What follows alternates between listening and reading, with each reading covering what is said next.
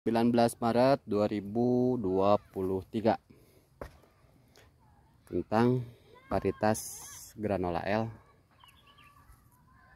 Sebelum tanam pupuk kandangnya kita spray dengan RL RL segar. Lalu di usia 60 kita masuk cor NTC dan spray silika sekarang memasuki usia usia 70 tapi karena ini bercabang di atasnya jadi bunga sudah dua kali muncul. Nah ini nanti berguguran muncul lagi nanti bunga di sebelah sini. Dan kita akan e, cat lagi NTC dan pengaplikasian silika insyaallah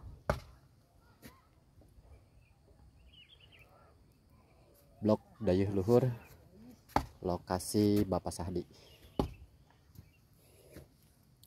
Penampakan batang seperti ini.